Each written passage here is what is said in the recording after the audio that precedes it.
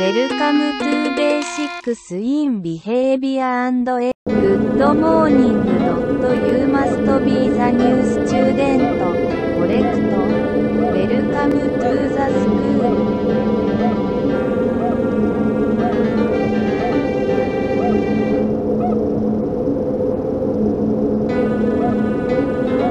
Now student, I can't believe that, I can't believe that, I can't believe that you've made it.